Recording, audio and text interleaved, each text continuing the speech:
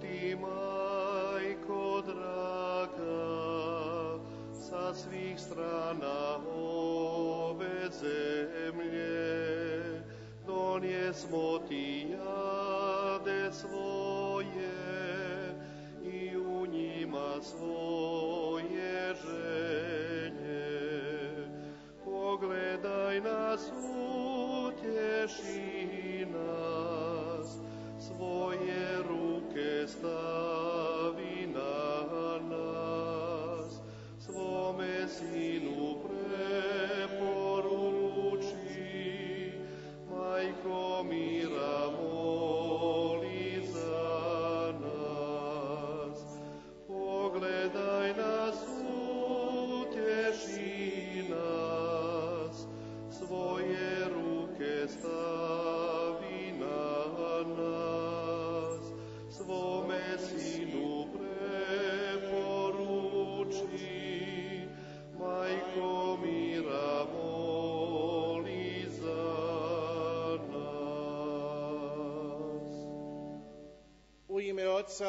Nel Padre, del Figlio e dello Spirito Santo, la grazia del Signore nostro Gesù Cristo, l'amore di Dio Padre e la comunione dello Spirito Santo sia con tutti voi. Tutti i santi dell'ordine serafico. È stato scelto proprio 29 novembre quando Papa Onorio III nel 1223 ha confermato la regola di San Francesco. Questo eh, descrive una via della santità francescana in diverse occasioni di vita, doveri. La santità vivono tutti coloro che sono guidati dallo Spirito del Signore, obbedienti al Padre Celeste. Nella loro vita seguono Cristo schiacciato dalla croce e così meritano far parte della sua gloria. Perciò il dovere del cristiano è a camminare per la via della fede che risveglia amore cristiano. E con tutto essere con la vita bisognava adorare Padre Celeste nello spirito e nella verità. E così crescere nelle virtù, nella fede, amore e speranza. Dobbiamo essere consapevoli della regola di Cristo, ama il tuo Dio con tutto il tuo cuore, con tutta la tua anima, con tutta la tua mente, ama prossimo come te stesso.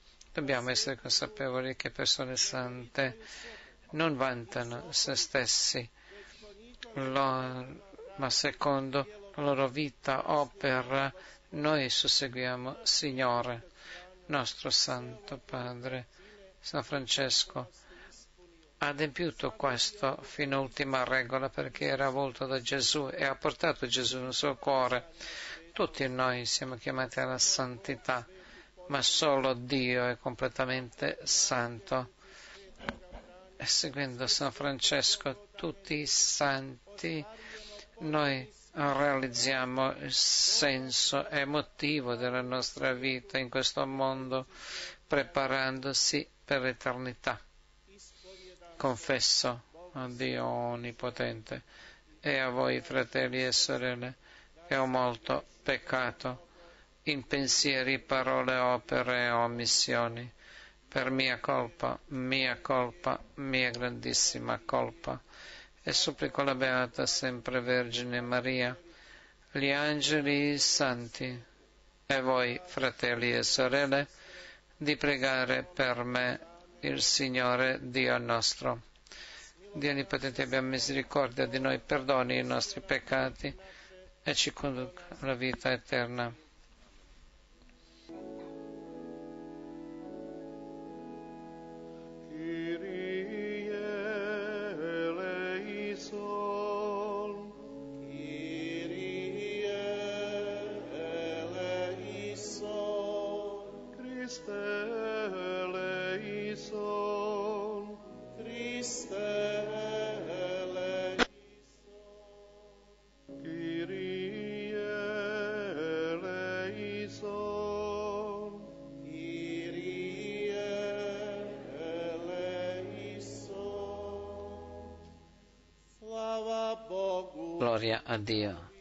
Nell'alto dei cieli. Gloria,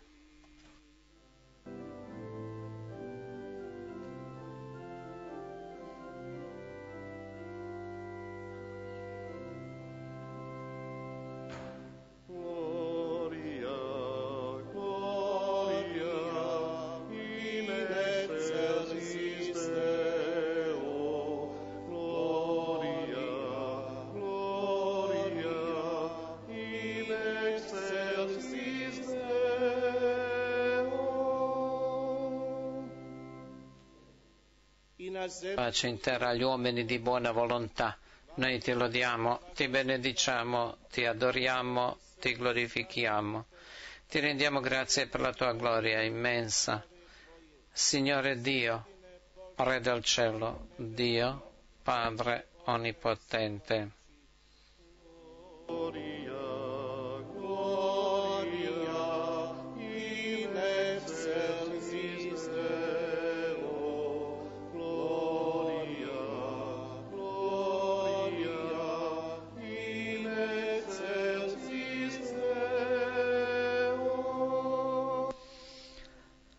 Signore Figlio unigenito Gesù Cristo, Signore Dio, Agnello di Dio, Figlio del Padre, tu che togli i peccati del mondo, abbi pietà di noi. Tu che togli i peccati del mondo, accogli la nostra supplica.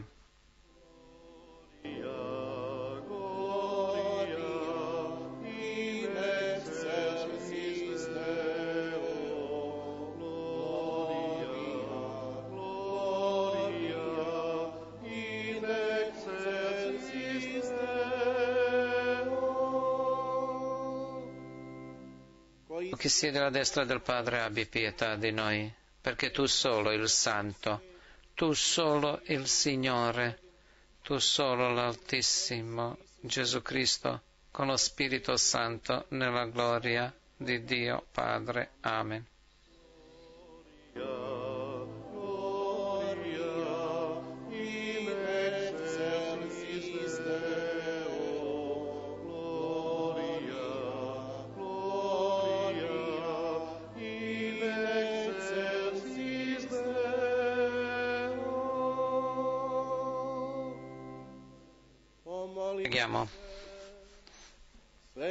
Dio Onnipotente che ti sei degnato di dare maggiore luce alla tua Chiesa con mirabile e svariata fioritura di santità serafica, concede a noi di imitare gli esempi di tanti gloriosi confratelli e di conseguire nei cieli la corona riservata ai giusti.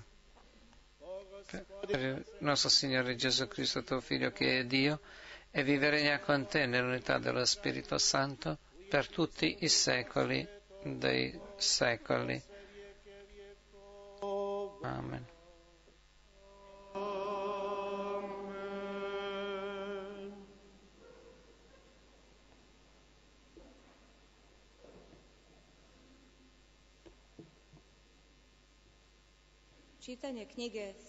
Dal libro del Siracide facciamo l'elogio degli uomini illustri dei nostri antenati secondo le loro generazioni.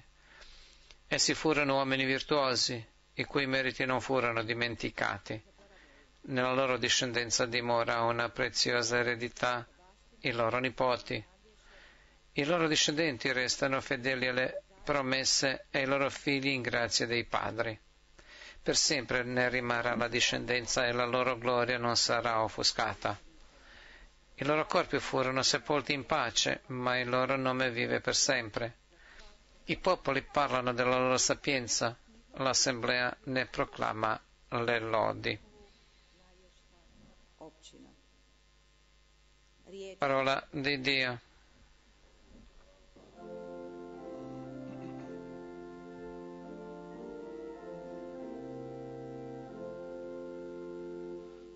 Hodit ću pred licem gospodnjim u zemlji živi.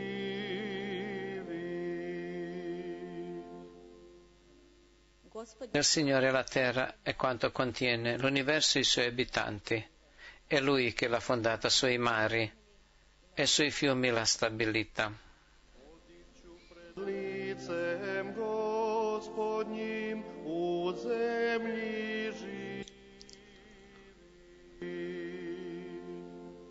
Chi salirà il monte del Signore? Chi starà nel suo luogo santo? Chi ha mani innocenti e cuore puro? Chi non pronunzia menzogna?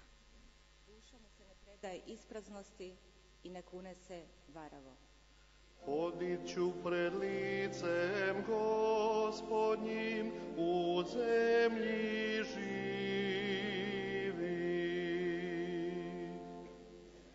È la benedizione del Signore, giustizia da Dio sua salvezza.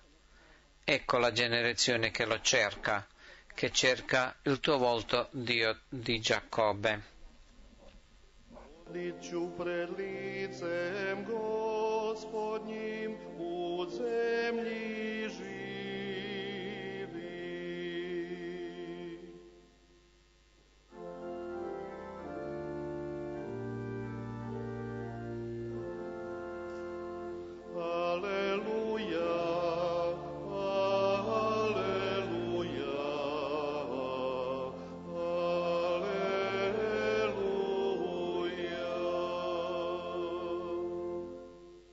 Questa è una vera fratellanza, vincendo la malvagità del mondo, segui Cristo e con Lui esulta nei cieli.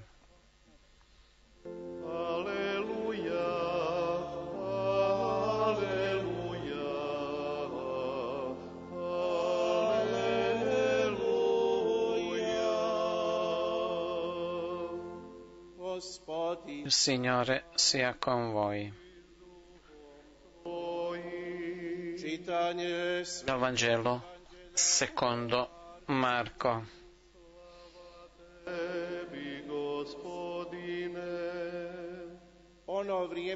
dok In quel tempo, mentre Gesù usciva per mettersi in viaggio, un tale gli corse incontro e gettandosi in ginocchio davanti a lui gli domandò, Maestro buono, che cosa devo fare per avere la vita eterna? Gesù gli disse, Perché mi chiami buono? Nessuno è buono se non Dio solo. Tu conosci i comandamenti, non uccidere, non commettere adulterio, non rubare, non dire falsa testimonianza, non frodare, onora il padre e la madre. Egli allora gli disse, Maestro, tutte queste cose le ho osservate fin dalla mia giovinezza. Allora Gesù fissatolo lo amò e gli disse, una cosa sola ti manca, vendi quello che hai e dallo ai poveri e avrai un tesoro in cielo e poi vieni e seguirmi. Parola di Dio.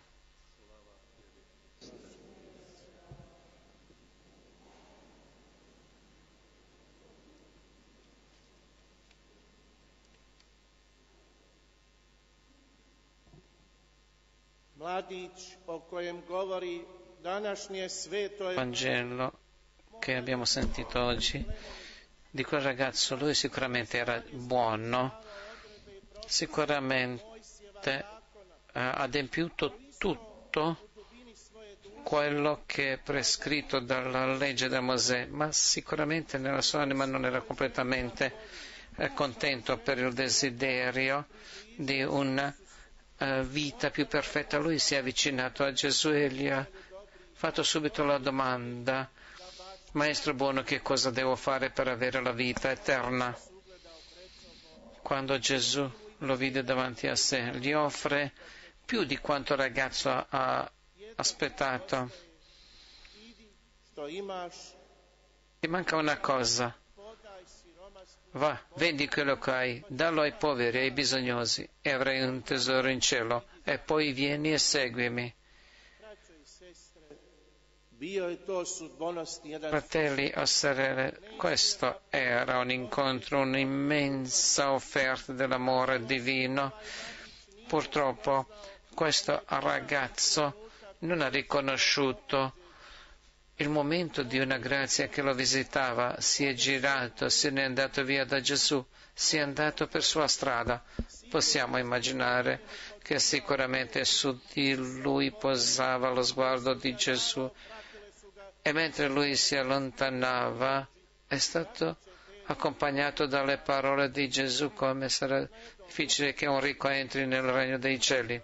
In un altro posto Luca Evangelista scrive Gesù ha pronunciato anche queste parole nessun servo può servire due, due padroni. O uno odierà e l'altro amerà. O uno seguirà e l'altro disprezzerà non potete servire Dio e Mammone anche nella sua parabola in quella storia che noi sicuramente la conosciamo del ricco e del povero Lazzaro Gesù ha descritto e ha pronunciato chiaramente eh, il destino di uno e dell'altro. Angeli hanno portato Lazzaro ad Abramo, mentre ricco è gettato nella genna. Fratelli e sorelle, prendiamo noi il Vangelo sul serio come messaggio, come parola di Dio, parola del nostro Padre Celeste o Vangelo cerchiamo eh, di luire con le nostre incertezze, con le nostre conclusioni secondo proprie opinioni. Magari ogni prova di disprezzare la parola di Gesù è una cosa senza valore, come se il Signore lo sapesse bene e per questo Lui ha confermato uh, uh, con quelle parole Sarà più facile che un cammello entri nel regno dei cieli che ri... eh, scusate, sarà più facile che un cammello passi in corona di ago che ricco nei, nei cieli. Oggi vediamo che tutto si può raggiungere con i soldi e come parole di Gesù sono state pronunciate sul conto dei ricchi, ma non si possono mai cancellare e per questo noi dobbiamo amarli ma dobbiamo amarli come i nostri fratelli più bisognosi perché l'uomo che ha solo soldi davvero è la persona più povera. Magari spesso non siamo consapevoli quante disgrazie, quanta tristezza è nascosta sotto quella ricchezza. La cosa più triste è che quella persona non si può incontrare con Gesù perché davanti alle sue parole si chiude e si esclude dal cuore di Dio. Troppo legame alla ricchezza, ai soldi, alle cose materiali, non solo che chiudono gli uomini di uomo, ma avvolge tutto l'essere della persona, il cuore, l'anima. E il cuore, nel senso biblico, descrive il centro proprio quello che è più importante nella persona, cioè punto di partenza di tutti i pensieri, parole e opere dell'uomo. E quando questo centro è paralizzato, quando è occupato, allora lì non c'è più posto né per Dio e poi né per il prossimo. Troppo legame alle cose materiali acceca anche l'intelligenza dell'uomo occupa sempre di più l'uomo così che lui invece di essere libero diventa schiavo di questo mondo. Quest'uomo non capisce la storia, nemmeno quello che succede nel mondo, non capisce il tempo nel quale vive, nelle persone con quali vive, è superbo, egoista, sta al centro di quel tempo, vive con quelle persone perché con loro è legato ma tutto questo insieme non capisce, non comprende perché è pieno di giudizio, di critica e di qualsiasi altra cosa. E non è per caso che in certe parti del mondo, così anche lì dove sono i cristiani, dove i cristiani sono maggioranza, cioè quasi tutto questo continente, si arriva alla, uh, alla, chiusura dei sacerdoti, agli arresti dei sacerdoti, dove vengono maltrattati, poveri, sfamati, ma bisogna poi sapere che eh, questa generazione ha perso qualsiasi sentimento verso quelli che sono poveri. Da noi ci hanno detto che dice un sano non capisce un malato. Così che esiste, ci chiediamo se esiste la possibilità di salvarsi un ricco. Nel Vangelo è scritto difficile, ma Gesù subito aggiunge agli uomini impossibile, ma non è impossibile a Dio. Nel suo discorso su Monte Gesù ha detto poveri, beati voi poveri perché è vostro il regno dei cieli. A questo, fratelli, essere sicuramente eh, ci spinge di comportarsi così con i poveri, perché loro hanno la precedenza nel regno di Dio, perché loro hanno sofferto tanto in questo mondo e loro non sono nemmeno i gradini per i ricchi, cioè i gradini attraverso i quali possono salire nel cielo, indipendentemente dalla loro poverezza, povertà, noi dobbiamo rispettarli, aiutarli per un grande cristiano amore, amore cristiano. Quello che noi sicuramente facciamo nella nostra vita lo facciamo anche attraverso diverse azioni umanitarie, sia che si tratta di malattia, sia che si tratta del portargli cibo e altre materie, qualsiasi altra cosa. Sant'Agostino ha scritto Nessuno che dona a un povero non si deve vantare, non deve dire nel suo cuore io do, lui riceve, io gli do perché lui non ha uh, dove dormire. Magari a te manca più, che, più di lui, magari quell'uomo che tu ricevi è un uomo ricco, ricco perché è giusto. Si salverà colui che ha capito che le chiavi del regno dei cieli sono proprio nelle mani di coloro che sono poveri, rifiutati, rigettati, proprio quelli che sembrano più bisognosi. Nessuno ci impedisce avere eh, beni materiali, ma non dobbiamo legare il nostro anima e il nostro cuore a queste cose materiali, così che ci allontanano da Dio e da uomo. Povero il cuore del povero a colui che oltre tutto quello che ha, lui è libero, disposto per ogni bene, per qualsiasi azione, per fare bene all'altro. Colui che ha fame della giustizia, che lotta per giustizia, verso tutti si comporta bene, eh, lui è proprio quello che porta veri valori. Perciò qui oggi all'inizio di quell'avvento sta grande ammonimento a tutti noi. Qui non si tratta solo uh, del troppo legame alle cose materiali, che questo potrebbe accecare, chiudere i nostri occhi, i nostri cuori, così che noi non vediamo nulla oltre quelle cose materiali. È proprio qui dove si perde l'uomo di oggi. Quante madri non vedono le paghe dei propri mariti, non vedono i figli che si sono allontanati, che sono senza controllo? Magari da quelle paghe dovrebbe vivere la famiglia. Così famiglia rimane nell'incertezza come vivere il giorno dopo.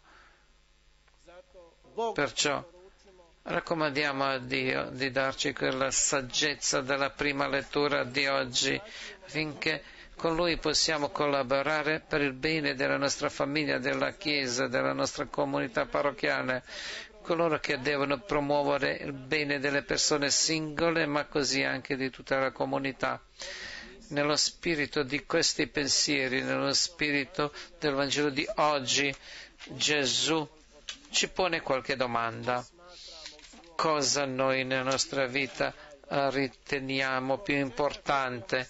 Perché noi sacrifichiamo, ci sacrifichiamo, offriamo tutte le nostre capacità, abbiamo le mani aperte, cuore aperto per bisogno del prossimo. Oltre tutto il benessere che abbiamo, noi riusciamo ad avere il cuore libero, cuore che segue eh, la nostra promessa fatta al Signore. Veramente è brutto se l'uomo è felice felice solo nei soldi, perché questo non è vita, questo è morte. Nello spirito della solennità di oggi, tutti i santi dell'ordine serafico nel cuore di questo programma sta vivere come Cristo. Questo è l'ideale de, l'ordine serafico.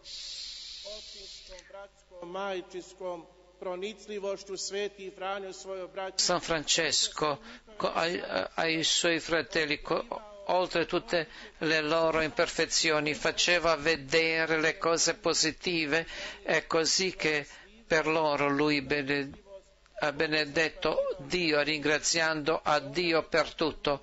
E lui diceva a quel piccolo fratello che segue queste regole, lui ha le virtù di questi santi fratelli. Eh, la fede di fratello Bernard che era perfetto nella fede, poi anche fratello Leon, anche fratello Angelo, poi anche bel aspetto e il comportamento fratello Masseo, poi la virtù di fratello Rufin che continuamente pregava, pregava anche nel sonno. E se lui aveva qualche impegno con lo spirito era sempre con Dio, la pazienza di fratello Nipper che è arrivato alla perfetta pazienza, la forza eh, spirituale di fratello Giovanni, di fratello Ruger e sua vita era proprio l'espressione di, di bene, così San Francesco parla di suoi fratelli. Allora, celebriamo tutti i santi dell'ordine serafico. In questa Santa Eucaristia celebriamo con la Chiesa, con coloro che hanno realizzato il loro senso dell'esistenza, coloro che guardano Dio faccia a faccia. Raccomandiamo e preghiamo per coloro che in questo momento ne hanno più bisogno, tra di loro anche per coloro che sono perseguitati, coloro che soffrono perché non vogliono negare la verità, coloro che sono disposti a soffrire per la verità. Noi ci troviamo nel santo tempo di avvento, tempo nell'anno della Chiesa, tempo descritto anche di una preghiera più intensa, delle opere di misericordia e di amore che dobbiamo fare. La Chiesa ci ispira in questo tempo a tornare a Dio, di lottare contro tutto quello che ci lega, tutto quello che ci porta nelle cose materiali, contro tutte le nostre debolezze e lottare contro tutto quello che è solo di passaggio in questo mondo. Amen. Preghiamo.